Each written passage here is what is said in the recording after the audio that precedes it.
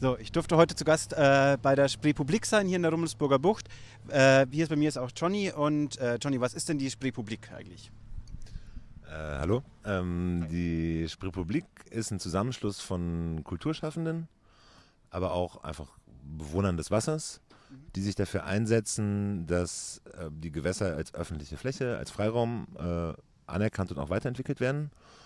Ähm, wir sind im Prinzip bündeln wir die Interessen und vernetzen zwischen den verschiedenen Akteuren auf dem Wasser, die nicht gewerblich unterwegs sind. Ja? Also privat, kulturell, äh, ehrenamtlich.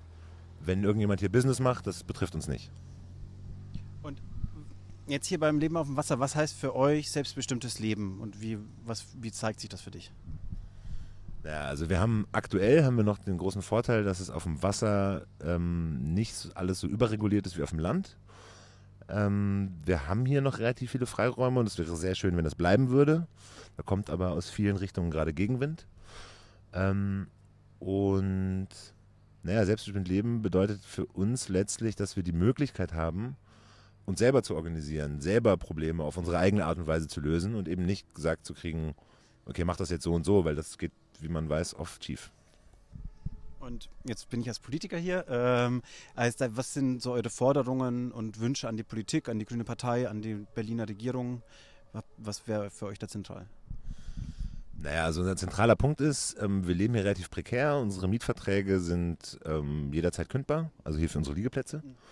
Ähm, wir brauchen dringend eine Perspektive, um unsere Kulturarbeit fortzusetzen, auch um den, sagen wir, um diesen Pluralismus, der hier auf dem Wasser stattfindet, am Leben zu halten.